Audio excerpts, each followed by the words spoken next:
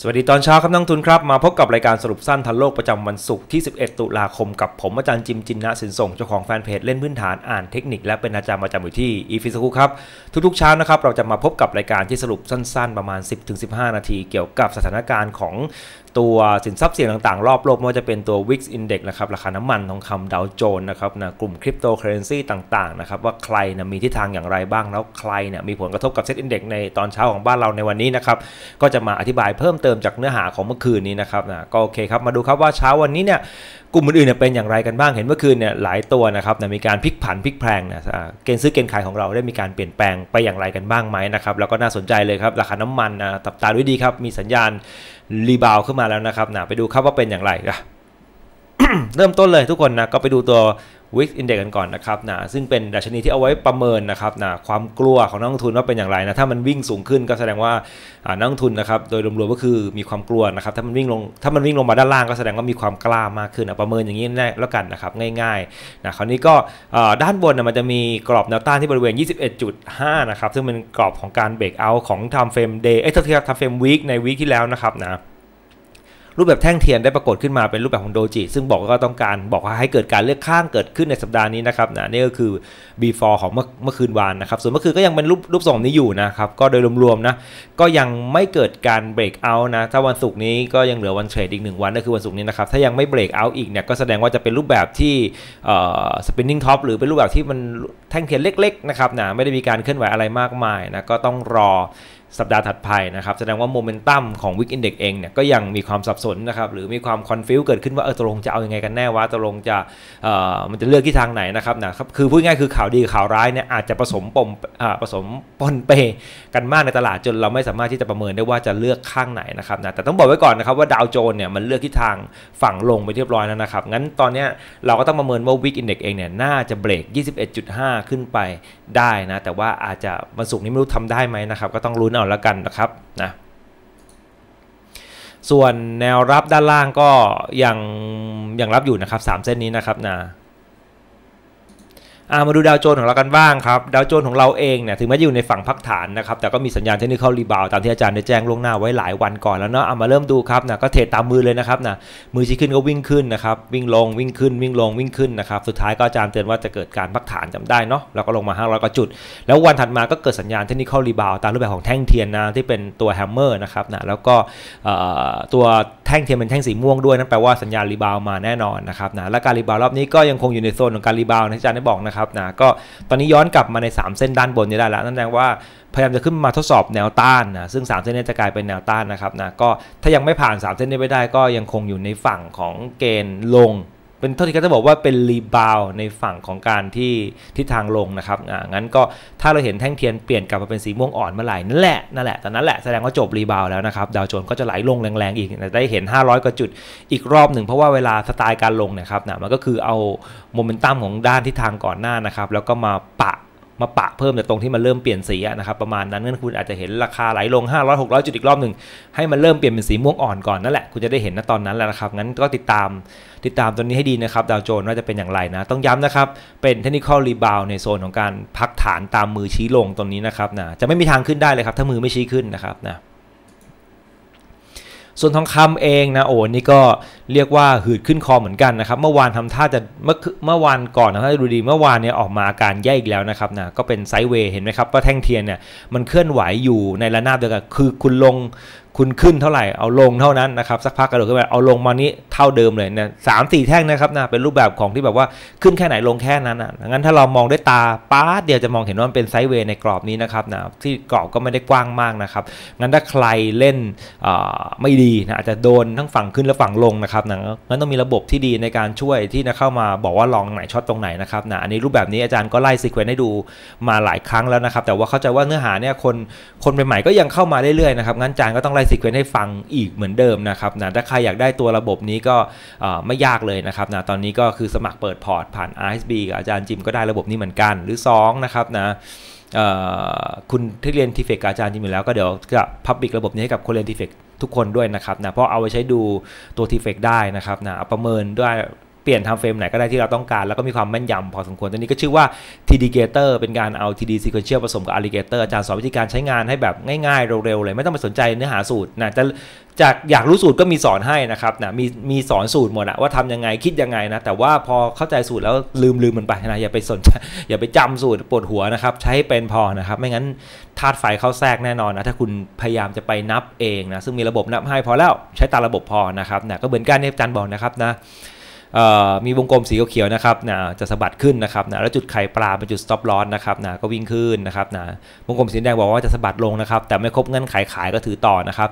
ทะลุจุดไข่ปลาวิ่งขึ้นวงกลมสีแดงนะครับบอกว่าจะสะบัดลงนะครับไม่ครบเงื่อนไขขายทะลุจุดไข่ปลาวิ่งต่ออันนี้วงกลมสีแดงนะครับครบเงื่อนไขขายนะก็เข้าสู่เกณฑ์พักฐานนะครับนะแล้วก็วัด target ของการพักฐานมาให้ตรงนี้นะครับ1460 1415นะครับก็ลงมาที่ target ของเรา แรก 1460 แล้วก็ตอนนี้ขึ้นมาสะบัด sideway แล้วอาจารย์ก็บอกว่าแหมทองคำเนี่ยมันเหมือนจะมีแววว่าน่าจะจบรอบได้ เพราะมันเกิดสีแดงตัวนี้ขึ้นมาหมายเลข 13 สีแดงด้านล่างกับสีแดงด้านบนนี่ต่างกันนะครับนะถ้าเป็นด้านบนนะบอกสะบัดลงสะบัดขึ้นตามตัวตามสีเลยนะครับเขียวนี่สะบัดขึ้นแดงสะบัดลงนะแต่ถ้าเกิดมันอยู่ด้านล่างเนี่ยครับนะด้านนั้นเขาเรียกว่าเขาดาวนะเขาดาวเนี่ยหมายความว่า มันมีการนับลงมาครบตัวเลขปริมาณหนึ่งนะ จนเชื่อได้ว่าอาจจะจบรอบได้นะ แต่ว่าก็แค่บอกว่าอาจจะนะครับนะนั่นหมายความว่าไงครับ ในมุมของขาลงถ้าคนเข้าใจอิเลียเว็บถ้าคนเข้าใจอิเลียเว็บดีจะรู้ว่าในมุมของขาลงเนี่ยมันสามารถนับคอมบิเนชันขาลงแล้วขาลงอีกได้นั่นแปลว่าอะไรครับสินทรัพย์ที่คนไม่ต้องการเนี่ยมันก็จะลงไปเรื่อยแหละนะมันเหมือนจะเอ้ยน่าจะจบแล้วนะสุดท้ายคนไม่ต้องการมันก็ลงอีกนะครับนะ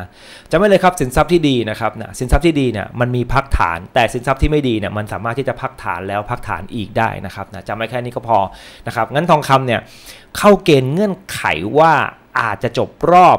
ขาลงได้ แต่ก็ต้องดูว่าคนอยากได้ไหมถ้าคนอยากได้ก็จบจริงก็ขึ้นต่อนะครับถ้าคนไม่อยากได้อาจจะลงมาที่เลเวลถัดไปก็ได้นะครับงั้นก็เทรดตามระบบไว้ก่อนนะมันแค่บอกว่ามีโอกาสจะจบรอบขาลงได้นะครับนะก็ต้องสุดท้ายก็ต้องอิงตามระบบนะครับอย่างเมื่อคืนก็สุดท้ายก็ไหลลงมาฟึบตรงนี้เนาะ คราวนี้คนที่ใช้ระบบเราเนี่ยนะห้อง ISB ก็จะมีการโพสต์ระบบมือชี้ขึ้นชี้ลงให้ในทองคำเป็นนาเฟรมหนึ่งชั่วโมง ซึ่งเราสามารถเก็บรอบ นะครับรอบใหญ่เราก็ได้คำใหญ่รอบเล็กเราก็ได้คำเล็กนะเรียกว่ารอบเรากวาดกันมาตลอดอะก่อนหน้าก็กวาดมา60เหรียญกวาดอีก20เหรียญนะครับตรงนี้เราขาดทุนนะครับนะเพราะว่าสัญญาณเนี่ยมันดันมามีจังหวะ short ตอนที่ตลาดบ้านเราปิด พอดีนั่นแปลว่าเราเสียโอกาสนะตลาดบ้านเราปิดมันตลาดเขาสั่ง short พอเปิดขึ้นมาเรามา short ซ้ำเนี่ยมันดีขึ้นมาเลยนะครับนะก็มาแก้ตัวคืนไม้นี่ประมาณ10กว่าเหรียญนะครับนะก็มาเอาคืนนี้ได้แล้วก็เมื่อคืนนะครับอาจารย์ก็มีการโพสต์ไว้เมื่อคืนเกิดตอนกลางคืนเหมือนกันแต่ตลาดบ้านเราเปิดเนาะ ประมาณสัก 1,502นะครับอันนี้เป็น spot นะครับนะ1,502เนี่ย spot เนี่ยราคา spot เนี่ยเราก็ได้มา 1492 ลงมาอีกประมาณ 10 เหรียญอย่างรวดเร็วนะครับหลังจากโพสต์ปุ๊บก็ไหลลงประมาณ 10 เหรียญอย่างรวดเร็วอะเรียกว่าสัญญาณมือของเราเป็นสัญญาณมือที่มีประสิทธิภาพมากๆนะครับมือชี้ขึ้นก็ขึ้นมือชี้ลงก็ลงเล่นเทรดกันนี้เลยนะครับก็อยู่ห้อง ISB เนี่ยปรับสถานการณ์กันอย่างรวดเร็วนะครับนะไม่ต้องมาแบบว่าเออมาคอยถามจะขึ้นจะลงอยู่เว็บไหนอะไรแล้วนะฟิโบปัดเป้าหมายเท่าไหร่นะครับนะไม่ต้องสนใจเลยมือชี้ขึ้นก็ขึ้นมือชี้ลงก็ลงนะเทรดตามอย่างเดียวเลยนะครับนะก็ตอนนี้ก็มีมีกรอบแนวต้านนะครับ spot อยู่ที่ 1 1 5 1 5นะครับส่วนแนวรับอยู่ที่บริเวณ 1470นะครับอันนี้คือราคาของ spot นะส่วนใครที่เทรด gold online จะมีแนวรับต้านให้ต่างหากในทุกๆเช้านะครับมีกรอบ breakout ให้ว่ากรอบไหน คือกรอบ sideway กรอบเอาเรียกว่าคำนวณมาให้ทุกอย่างเสร็จสรรพนะครับและเป็นกรอบที่แม่นมาก ๆด้วยนะครับบอกไว้ก่อนเลยนะ ช่วงหลังอาจารย์ไม่ค่อยได้วัดเพอร์แมนให้เพราะว่าอาจารย์ทำมาหลายคลิปจนกระทั่งทุกคนเนี่ยใช้ไปแล้วอาจารย์ก็เลยอัดคลิปไว้ล่วงหน้า แล้วก็ทุกคนก็ไม่อัดคลิปล่วงหน้าอัดคลิปไว้ให้ดูอะนะครับแล้วทุกคนก็ไปดูย้อนหลังเอาแล้วกันนะว่า การใช้กรอบนรัมาต้านเนี่ยมันเป็นอย่างไรนะก็ทำให้ดูทุกวันก็เดี๋ยวก็จะเหนื่อยนะครับนะเอาเวลาไปทำอย่างอื่นดีกว่านะแปลว่าเพราะสอนทุกคนใช้งานเป็นก็พอแล้วนะครับนะอะโอเค น้ำมันบ้างนะครับนะ ราคาวิ่งทอนมือชี้ขึ้นวิ่งขึ้นมือชี้ลงวิ่งลงนะครับชี้ขึ้นวิ่งขึ้นไม่ลงไอตัวที่เป็นอย่างเงี้ยมันไม่ครบเงื่อนไขนะอย่างเงี้ยมันไม่ครบเงื่อนไขนะครับนะจะไม่มีการโพสต์บอกทั้งสิ้นนะครับแปลว่าคุณไม่คุณไม่ได้เห็นหน้าตาหน้าตาเนี่ยคุณจะเห็นตอนที่บอกว่ามือชี้ลงนะครับแล้วก็มาเห็นอีกทีก็ตอนมือชี้ขึ้นงงไหมประมาณเนี้ยนะคุณจะไม่เห็นระหว่างทางเลยเพราะว่ามันไม่ครบเงื่อนไขก็จะไม่มีการโพสต์นี่ก็เหมือนกันน้ำมันนะครับมือชี้ลงไม่ลงชี้ขึ้นไม่ขึ้นไม่ลงไม่ลงไม่ขึ้นนะครับนะงั้นก็อะไรไม่ครบเงื่อนไขเราก็บอกไม่ครบเงื่อนไขนะครับนะคราวนี้ รอบล่าสุดเนี่ยจะสังเกตได้เลยว่าน้ำมันเนี่ยมันวิ่งกรอบแคบลงเรื่อยๆนะครับนั้นระยะวิ่งขึ้นก็จะแคบวิ่งลงก็จะแคบด้วยนะครับ แต่เราก็ยังพอกินคำเล็กๆ ในระหว่างทางเนี่ยได้นะครับ แต่ว่าความดีความชอบของน้ำมันก็คือว่ามันไม่ทำโลใหม่นะโลมันยกสูงขึ้นเรื่อยๆ แล้วก็ล่าสุดข่าวดีคือล่าสุดข่าวดีคือ น้ำมันเปลี่ยนสีจากสีม่วงอ่อนเป็นสีม่วงเข้มแล้ว นั่นแปลว่าอะไรครับ สัญญาณรีบาวในน้ำมันมาแล้วครับ ต้องบอกไว้เกินถ้าสีม่วงเนี่ยยังคงเคลื่อนที่ต่อเนื่องเรื่อยๆครับมันจะเปลี่ยนเป็นรูปมือนี่อย่างเงี้ยครับสีม่วงเปลี่ยนเป็นรูปมือเห็นไหมครับสีม่วงเปลี่ยนเป็นรูปมือนะครับนะถ้ามันเปลี่ยนเป็นรูปมือได้ ก็แสดงว่า มันมีรอบซื้อรอบใหม่ขึ้นมานะรอบนี้ไม่ทำ low ไม่ทำ low ใหม่ แล้วก็มีเกณฑ์ซื้อรอบใหม่เข้ามาแสดงว่าเป็นสัญญาณที่ดีในน้ำมันงั้นเอาใจช่วยน้ำมันเลยนะครับ ว่าน้ำมันจะสามารถฟื้นได้หรือไม่ในรอบนี้นะครับตอนนี้สัญญาณ rebound เนี่ยมาแล้วย้ำนะครับสัญญาณ rebound เนี่ยมาแล้ว ไปลุ้นให้มือขึ้นมาในน้ำมันนะครับนะก็จะเป็นรอบใหม่ หวังว่าจะได้รอบใหญ่ๆนี้สักรอบหนึ่งนะครับเพราะว่ามันเป็น sideway มานานอะถ้ามันเบรกขึ้นด้านบนมันก็จะเคลื่อนที่รอบใหญ่ได้อีกรอบหนึ่งนะครับนะโอเค ใครที่อยากได้สัญญาณดีๆ ด่วนๆ อย่างนี้นะครับ ก็สามารถสมัครเปิดพอร์ตกันเข้ามาได้ที่เห็นเมื่อกี้เป็นเพียงแค่น้ำจิ้มของจริงยังมีมากกว่านี้ แล้วอาจารย์กำลังจะทำ monitor SET ร้อยฟังนะครับกำลังจะทำ monitor SET ร้อยซึ่งต่อไปนี้เซตร้อยจะมีมือชี้ขึ้นมือชี้ลงให้ด้วย นั่นแปลว่าเราจะได้หุ้นที่แบบต้นทางมือรอบอย่างนี้มันมาเลยนะครับ งั้นใครที่อยากติดตามระบบของอาจารย์นะครับ มาเป็นครอบครัวเดียวกันได้ครับ สแกนฝั่งขวามือนะตรงนี้นะครับ QR code หรือพิมพ์ว่า bit.ly/openrhb เข้ามาในกลุ่มเดียวกันได้เลยนะครับ ผมเองก็เป็น็น IBA ถูกต้องตามกฎหมายนะครับ หมายเลข 19020018 79 ครับบิตคอยน์ครับ บิตคอยน์ยังคงอยู่ในฝั่งพักฐานนะ timeframe week สังเกตนะครับว่ามันหลุด 3 เส้นนี้ลงมาแล้วมันพักฐานแน่นอนนะครับการเด้งขึ้นมาก็เป็นการ technical rebound ขึ้นมานะโดยหลักก็คือจะไม่พ้น 3 เส้นนี้ได้หรอกนะครับนะก็จะเป็นการ rebound เพื่อลงต่อเหมือนในอดีตเห็นไหมครับนะมันจะเป็นอย่างเงี้ยนะครับหลุดปุ๊บพักฐานนะคุณจะเด้งไปได้แค่ไหนก็ได้นะคุณคุณจะไม่เกิน 3 เส้นเนี้ยโดยประมาณนะครับถ้ามันเด้งถ้ามันขาเด้ง B ที่เป็นเด้งที่ไม่ได้แรงมากแต่ถามว่ามีโอกาสเกินได้ไหมในในฝั่งของ collective คำตอบคือมีได้นะมีได้นะครับมีได้ได้เกิน เส้นนี้ได้ซ้ำไปนะแต่ว่าก็อยู่ในฝั่งคอร์ r ทีฟอยู่ดีในการนับเวฟแต่ว่าถ้ามันเด้งสูงมากๆเนี่ยเดี๋ยวเกณฑ์ซื้อมาครับนะเกณฑ์ซื้อมาแล้วถ้ามันเป็นการเด้งเพื่อลงต่อเดี๋ยวเกณฑ์ขายก็จะมาอีกเหมือนกันนะครับงั้นเล่นตามเกณฑ์ไปนะครับเกณฑ์ซื้อมาเกณฑ์ขายมาก็ซัดไปตามเกณฑ์ บอกว่าบิตคอยน์เนี่ยผมพัฒนาขึ้นมาจน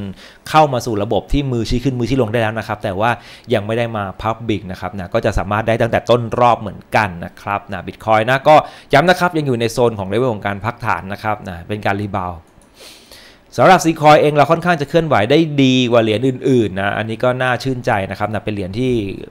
ก่อสร้างโดยก่อตั้งโดยคุณปรมินทร์นะครับเจ้าของสตางค์นะ corporation นะครับนะก็ถึงแม้จะมีการพักฐานมาอย่างยาวนานใน timeframe day นะครับนะก็เห็นไหมครับว่ามันมีสีเขียวนะครับมันบอกว่าจะสะบัดตัวขึ้นแต่มันขึ้นไม่ได้อะนะมันลงต่อก็วิ่งต่อนะงั้นถ้ามันจะบอกสะบัดตัวขึ้นแต่มันไม่เข้าก็ไม่ต้องสนใจมันนะครับนะมันแค่บอกมันจะสะบัดตัวขึ้นนะครับเนี่ย นะครับแล้วหลุดปุ๊บก็ลงต่อ อันนี้บอกว่าจะสะบัดตัวขึ้นเหมือนกันแต่รอบนี้ขึ้นจริงนะครับแล้วเข้ามาในเกณฑ์ซื้อด้วยนะครับนะก็คือ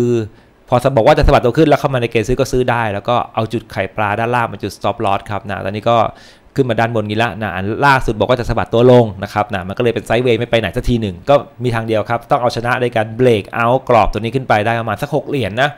พูดง่ายคือบอกจะสะบัดตัวลงอะแต่มันเบรกเอาอะก็เป็นแนวแนวรับแนวต้านของมันนะครับนะก็แปลว่าเอ้ยเลิกสะบัดตัวลงจบแล้วสี่ก็ขึ้นต่อได้ งั้นก็ประมาณ6เหรียญนะถ้าเหรียญซีคอยขึ้นมาปิดสูงกว่า6เหรียญในวันไหนได้ก็แสดงว่าไอ้เงื่อนไขสีแดงถูกทำลายไปเรียบร้อยแล้วนะครับก็เตรียม cycle market cycle รอบใหม่นะครับนะโอเคก็นี่ก็ Zcoin ของเรานะ ทุกท่านครับ ใครที่อยากเข้ามาเริ่มลงทุนในตัวคริปโตเคอร์เรนซีแล้วคิดว่าคริปโตเคอร์เรนซีเป็นสินทรัพย์ที่มีอนาคตในอนาคตเออต้องบอกเนี่ยมีสินทรัพย์เป็นสินทรัพย์ที่มีอนาคตในอนาคตเนี่ยนะครับนะก็สามารถเปิดพอร์ตเข้ามาได้เลยนะครับด้านซ้ายนะตรงนี้นะครับพิมพ์ก็ว่า w w w s t a n g t r a d e นะครับหรือพิมพ์ว่า bit.ly s t a n g trade ได้เช่นเดียวกันนะครับนะก็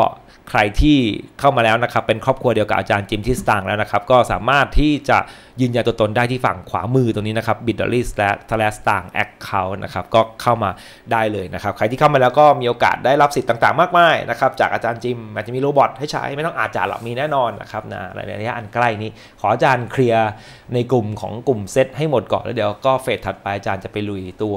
ที่เป็นคริปโตเคอเรนซีอย่างจริงจังนะครับนะก็ตอนนี้ซุ่มพัฒนาอยู่แหละ เป็นการทำเฟสขนาดกันไปนะครับ ก็ใครเข้ามาเป็นส่วนหนึ่งของอาจารย์แล้วโดยผ่านลิงก์นี้เท่านั้นนะครับ ก็จะได้สิทธิ์ตรงนั้นด้วยนะครับ ใครไปสมัครลิงก์อื่นก็ก็ไม่สามารถได้เงื่อนไขนี้ไปนะครับ โอเค ทุกท่านครับ พบกันใหม่ในเทปหน้าครับ สวัสดีครับ